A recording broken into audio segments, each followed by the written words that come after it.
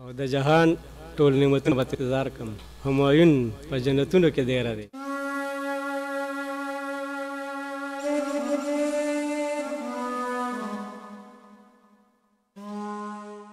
ګرانو کتونکو ستاسو په خدمت کې حاضر یو ډاکټر ګلزار جلال د همایون همدرد په یاد کې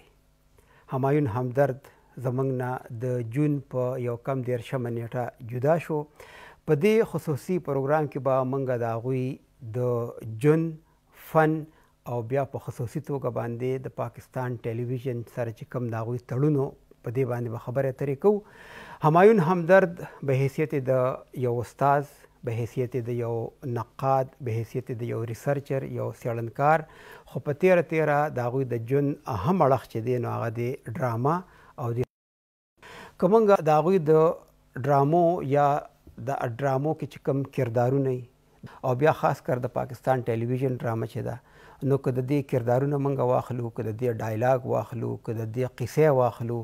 او که د دې تیم یا پلاټ واخلو نو د دې خپل خپل خوند دي او خدای پاک همایون همدرد له دا ټول صلاحیتونه ورکړي وو چې د هغه پلاټ، د هغه تیم، د هغه کردارونه، بیا ډایلاګ کومې کردارونه چې به کومې خبرې کولې نو په هغې کې به خپل یو مطلب او په هغې کې به خپل یو خوند و او که موږ داسې ووایو چې خدای بخښلې ډاکټر محمد اعظم اعظم یا خدای پاک ته ول ډیر جوند ورکی زمونږ نور البشر نوید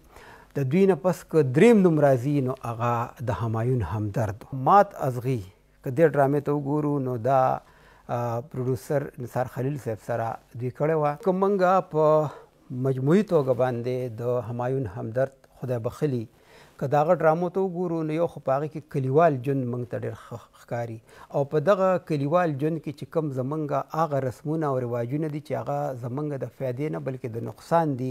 نو هغې د هغوی غندنه به هم کوله او بیا د هغې اصلاح څنګه کیږي دا پیغام چې و نو هغوی به ډېر په مزېداره طریقه باندې خپلو ګرانو کتونکو ته ښودلو.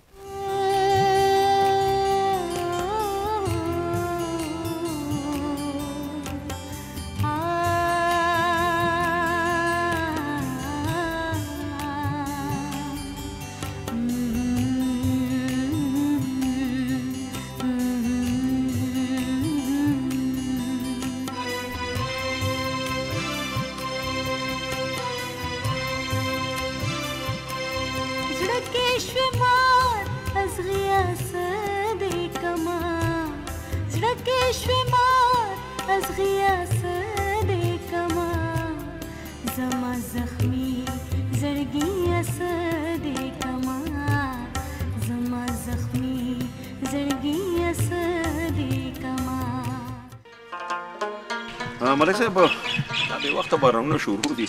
الله دې خیر وکړي فصلونه مو خراب شوي خو نه دي نه خدای خیر کړي ها ها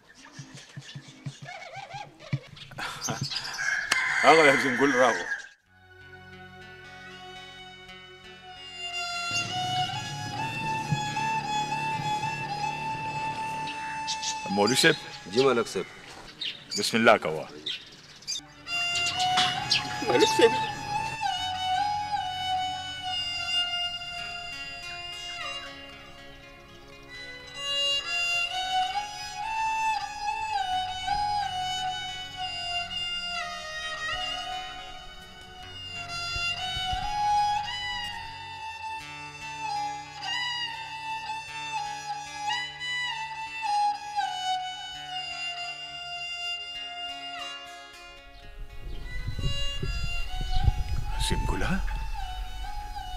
ستا د سرتور سر څه معنی لري خبره کوه پوه مې کا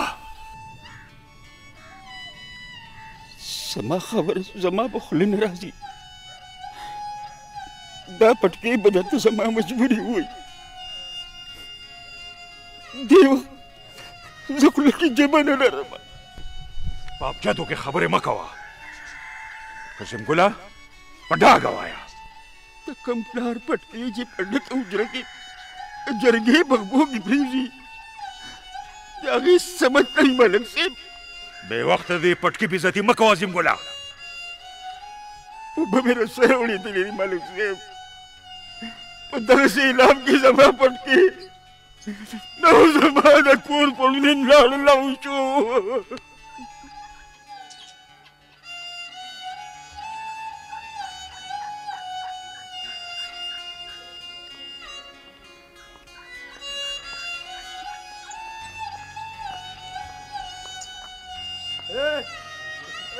تاسو چرته لاړئ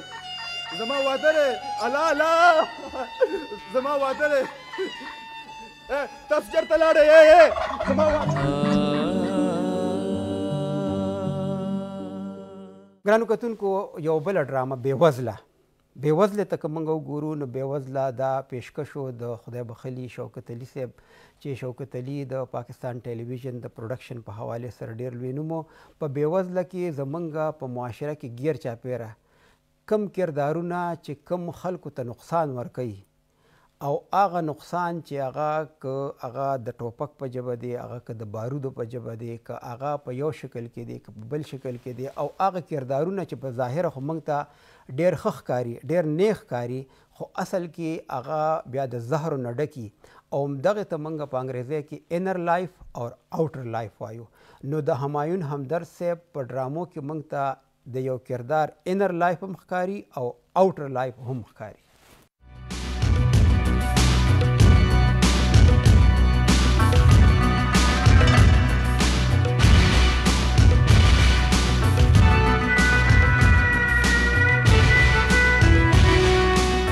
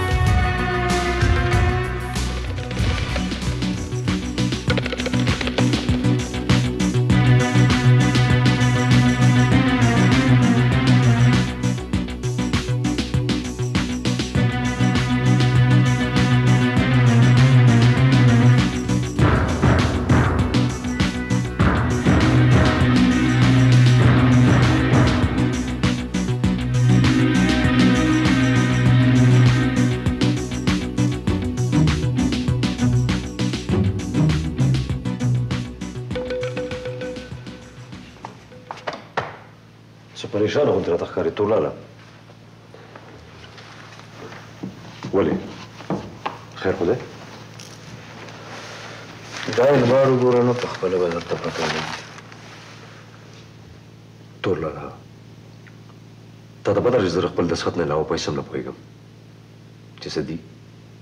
ته راته ووایه دا وګوره دلته دوه کسان مړه دي دلته نهه کسان زخمیان دي دا وګوره دلته څلور کسان ډېر بې دردۍ سره چا وژلي دي او دلته دوو قبیلو د شپږو ورځو راسي یو بل ته مورچې نیولي دي نو له دې سره زموږ څه تعلق شو جان جانه تا تر اوسه دوه پیرې لېږلي دي ته سوچ وکړه چې دا کوم کوم ځای ته تللي دي مطلب دا قتلونه چې چرته شوي دي دې ټولو کې ستا لېږلې شوې وسله استعمال شوې ده ته چې ځان د خلکو دومره خیرخوا وې دا تا سوچ نه کولو چې دا دومره ډېره وسله ځي چرته دومره ډیره وسله خو یا فوج سره یی یا پولیس سره نو بیا څوک ته ولاړه دې خلکو سره دا معاهده ختمه کړه که دا رښتیا وي نو ختمه وکړه زه هم د دې ورځې نه یریدم ما دا ورځ لیده هر څه به ټیک شي تور لالا هیڅ هم لا تلي راغلي نه دي نه جان جانه ډېر څه تلي دي نور به د خدای خیر غواړو ګرانو کتونکو د یو لیکوال د یو ډرامه نګار د هغه چې کوم عوامو سره تړون دي هغه منګه چې کله عوام د هغوی ډرامې خوښوي، د هغې صفت کوي نو د هغې نه اندازه لګي او بیا دې سره سره چې کوم نقاد چې ورته موږ وایو یا کریټکس چې ورته وایو چې کله هغوی ورته وګو ادبي کریټکس یا ادبي نقاد نو د همایون همدرد دا خدای پاک صلاحیت ورکړو چې هغه ته په ډرامه دومره قدرت حاصلو چې په کال نولس سوه اته نوي کې او په کال نولس سوه دوه زره دوه کې په کال نولس سوه دوه زره دوه کې د پاکستان ټیلي ویژن هغه ته د ښه ډرامه نګار دوه ځله انعامونه ورکړي وو، دا خو د پاکستان ټیلي ویژن سره تړون و، خو دې سره سره هغوی چې یو نو په ذاتي ژوند کې یعنی د بحیثیت د ډرامه نګار نور هم هغوی ته ډېر ګڼ ډېر زیات انعامونه ملو شوي وو او دا انعامونه دا د دې یو ښودنه ده چې هغوی ته په ډرامه باندې قدرت حاصل و. ګرانو کتونکو د همایون همدرد صیب د ادبي ژوند دویم اړخ چې دی نو هغه دی شاعري په شاعرۍ کې هم الله تعالی هغوی له یو لوی صلاحیت ورکړی و که موږ د همایون همدرد صیب د شاعرۍ ذکر وکړو نو په شاعرۍ کې چې کوم ثبوت دی یا کوم دلیل دی نو د هغه استاد محترم کله چې دی ورسره په سکول کې و په دې هکله هغه څه وایي نو راځئ چې دې ته غوږ شو. همایون همدرد پنځم کلاس کې و زما شاګرد و ته ګونم های سکول خشکی پایان کې الکان راته وی جی دې سندرې لیکي ما ته الک وروړه کاپی ور سره و چې مې وکړه تاریان شوم د عمر مناسب او دغه د غزل معیار ډېر کافي فرق وبکي بیا ما ته راځه دلته کې زمونږ کلی کې یو ادبي تنظیم دی ادبي ټولنه آی ترازا هلته هم بیا هغه تلو راتلو به نو هغه هغه ادبي روزنه او تربیت به کېدل وخت په وخت باندې موږ به کول خو چونکې هغه کې خپله صلاحیت او او مخکې د تلو یو ښه قوت طاقت پکې نو ځان یې جوړ کړو او مطلب دا چې د ادب په هر صنف کې ځان ښه برابر کړو خو زیاته توجه یې چې کوم نه هغه ډرامو ته د پاکستان ټلویزیون د پاکستان رادیو پاکستان او دغه شان نورې چې کوم دی دا کیسټو په دې ډرامو ته جون وقف کو خه کامیاب شو خلک ډرامې مطلب دا خوخولي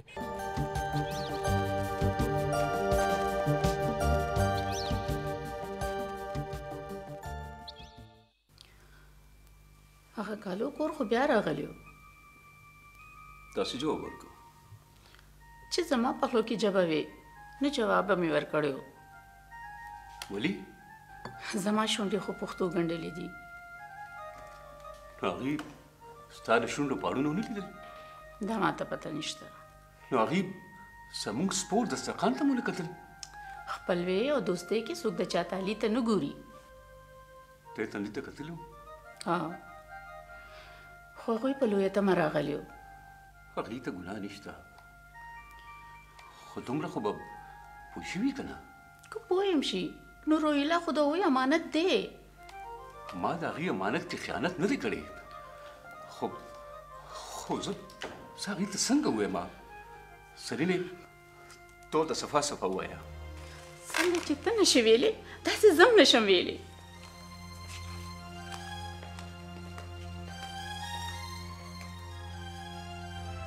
تارکه هغه تا ته نشي ویلې د دې مطلب خدا دې چې هغه انکار کوي نه زما مور او پلار دومره بې پښتو نه دي نو بیا ولې اخر ولې د دغه ولې جواب نه ما سره شته او نه زما مور او پلار سره روهیلې زما مور او پلار خو هغوی ته اسانه که که نه چې سوال یې ترې نه وکړو د هر سوال جواب نه یې تاریکه نو بیا به ضرور څه مجبوري وي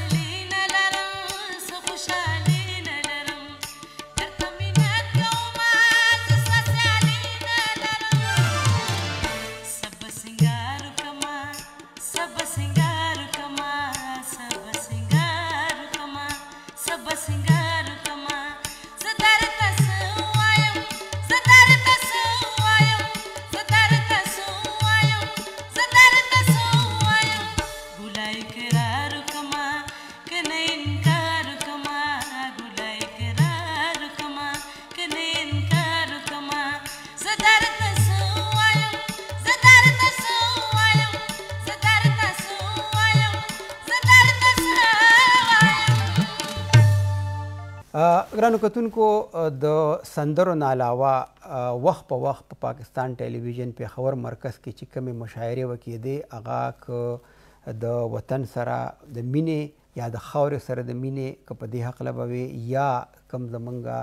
مختلف مذهبي چې کوم زمونږ د بارفات مقبه وه نو په دې هکله د هغوی په شاعرۍ کې چې کوم مذهبي رنګ دی هغه هم ډیر زیات ښکلی او ډیر په موثره طریقه باندې هغوی وړاندې کړی دی. توره شپه توره تیاره دې پۀ خبر شي ما ګټلی د رڼا په کفاره دی. بلنه ورکوم ښاغلي همایون همدرد ته چې راشي او خپل کلام وړاندې کړي. ښاغلی همایون همدرد! ستا عظمت لکه د نمر هسې ښکاره دی. واه! ستا عظمت لکه د نمر هسې ښکاره دی. ستا مقام ته جهان ټول په ننداره دی. ډېر ښه! او ستا زړګی د اباسین غوندې دریاب دی. ستا زړګی د اباسین غوندې دریاب دی ستا تندی لکه علم او تا تر دی ډېر ښه ډېر ښه شعر ستا د ګټې ګټې قدر را سره دی واه ستا تندی قدر را سره دی ستا د تړې تړې ننګ زما ذمه ده واه ستا د تړې تړې ننګ زما ذمه ده ستا د ګټې ګټې قدر را سره دی ډېر ښه او تور شپه توره تیاره دې پرې خبر شي. واه توره شپه. توره شپه توره تیاره دې پرې خبر شي. ما ګټلې د رڼا په کفاره دی. واه. توره شپه توره تیاره دې پرې خبر شي. ما ګټلې د رڼا په کفاره دی. ډېر ښه. او چې زما له منصوري جذبې خبر دی. واه. چې زما له منصوري جذبې خبر دی. هر غلیم مې د ضمیر په غرغره دی. ډېر ښه. او دغه پاکه استانه ده که وطن دی دغه پاکه استانه ده که وطن دی تقدس یې د فلک دغه پاکه استانه ده که وطن دی تقدس یې د فلک په مناره دی او چرته سورې د ترشمیر او د بولان دی چرته سور یې د تریچمیر او د بولان دی چرته نوم یې د خیبر په سر دره دی او پکې بوی د ګلورینو څانګو خور دی پکې بوی د ګلورینو څانګو خور دی ټوکېدلې د خیالونو په میره دی او د څلورو ګلو رنګ و نور یې ګوره د څلور ګلو رنګ و نور یې ګوره غوټه شوې د وفا په منظره دی واه واه ښه شعر دی مهرباني د څلور ګلو رنګ و نور یې ګوره غوټه شوې د وفا په منظره دی واه او لکه ځوان د ځوانو موټو په جوسه کې واه لکه ځوان د ځوانو موټو په جوسه کې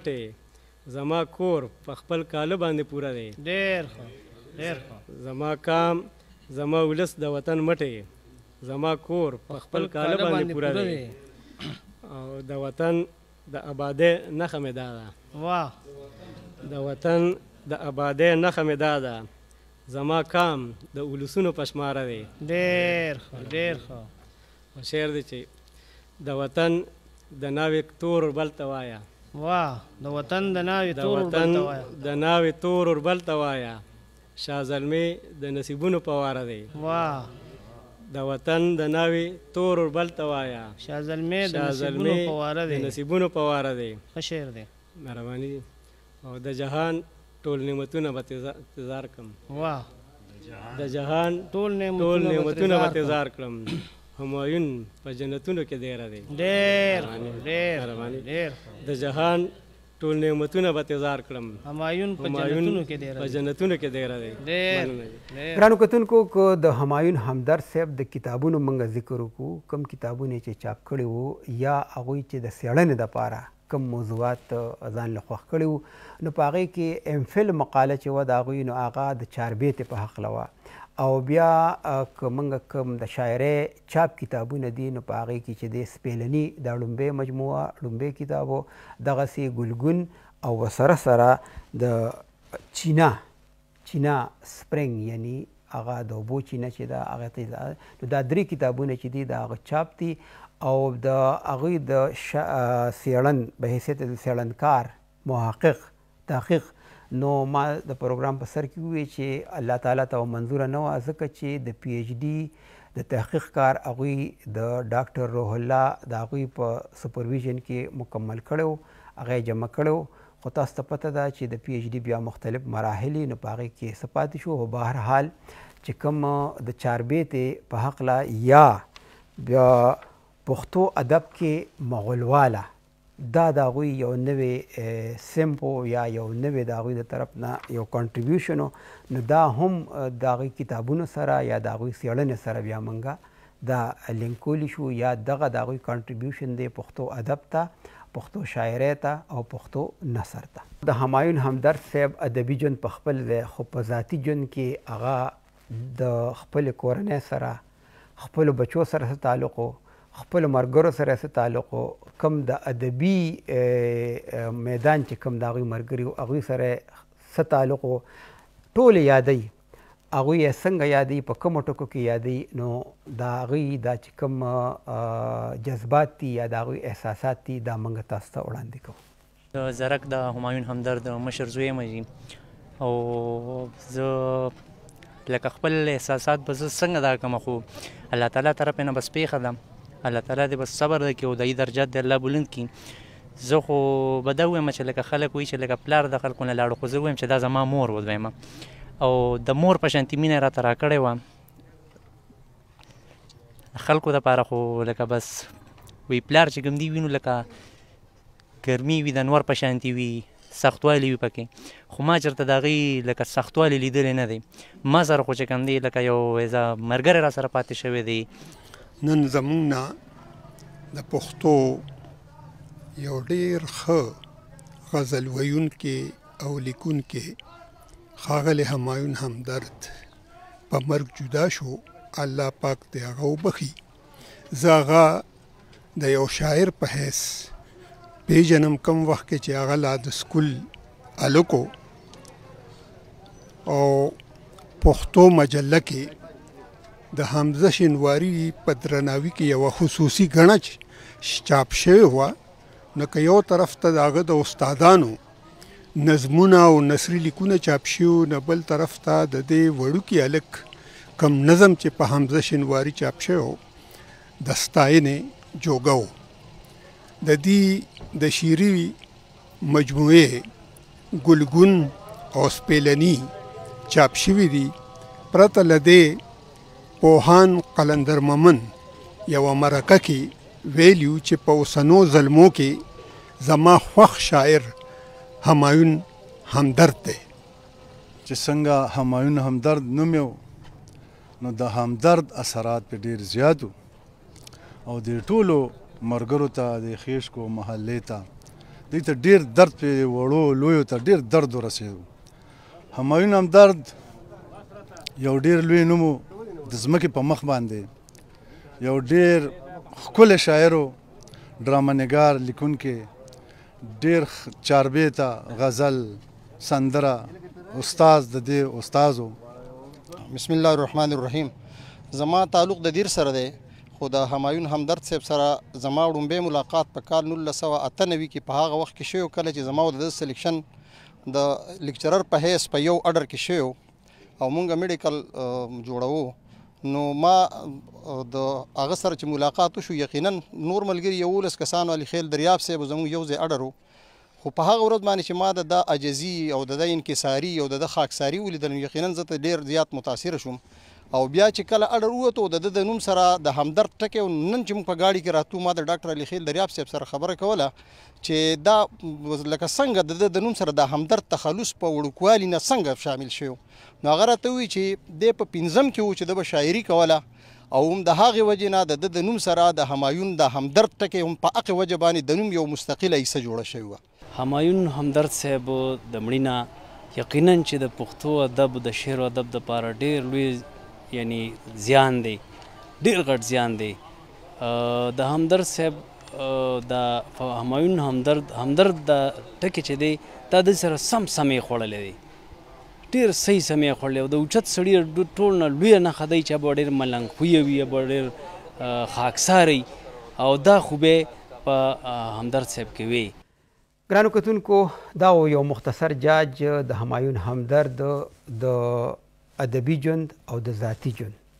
د هغی مرګرو سو وی دا او هغی د به حیثیت د ډرامه نګار او د شاعر مونږ تاسو ته دغه خبری دغه پیرزونی وړاندی کړلی له مونږ نه جدا شو خو په پښتو ادب کی او خاص کر په د پښتو ډرامه او د پښتو شاعری کی چی د ده کوم کانټریبیوشن دی د همایون همدرد کومه حصه ده نو دا به همیشه یادوي مونږ ټول لاس په دعا یو چې الله پاک دې د هغوی مغفرت نصیب کړي.